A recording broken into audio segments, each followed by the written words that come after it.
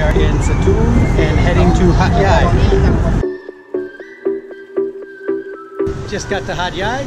First step was to get Kate tucked into bed. She's still not feeling good. Now I gotta go to the train station and pick up our tickets to Bangkok. Successful. We got our tickets from 12go.asia again because they've worked for us in the past. When you pick up your tickets at Hat Yai, you have to get them at the parcel office, which is not marked in English. So come in the main entrance, take a right. That is the parcel office. So you just go in there and pick up your tickets. For our time in Hat we splurged a little bit. We're staying at the Aloha Hat. It's 30 bucks a night. Any place in the States you'd pay well over 100 bucks for this room. Really nice place. And it's a block from the train station. So bonus.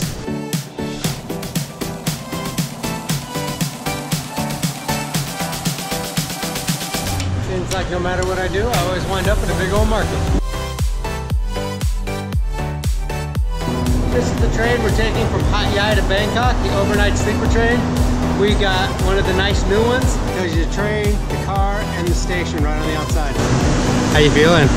Better. How you feeling for real? I still feel terrible, but I feel better. You're beautiful. I thank you. We weren't kidding when we said we got the nice new train. This is awesome. It was like $3 more, I think. Brand new. All the way up the front of the car. There's even a shower. And in a little bit, there'll be an engine right there. What did you think of uh, Langkawi and Hat Yai? Um, the bed in Hat Yai was so much better than the bed in Langkawi.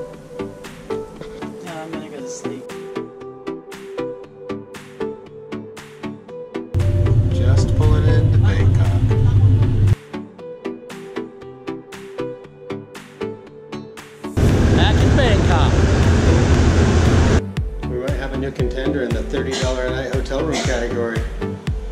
Look at this place. Holy cow. So the hotel pool does not suck.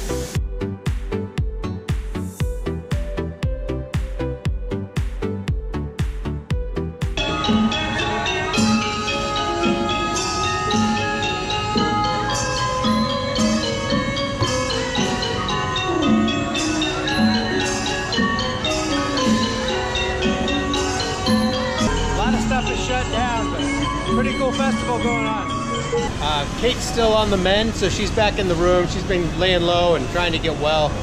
I'm out on the search for some food. Bangkok is still our unadulterated king of street food. Thankfully, no matter what's going on outside, you can always find some great food out on the streets. Let's see what we can get.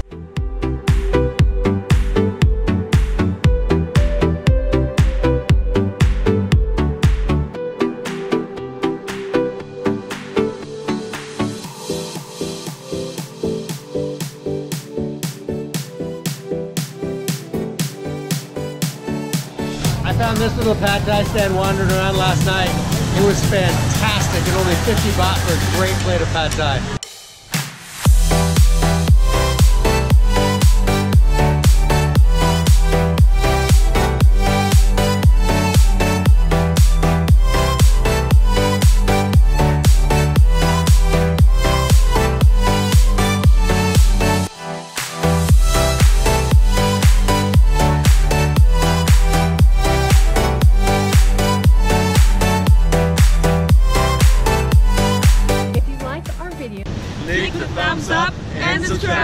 No, that was good.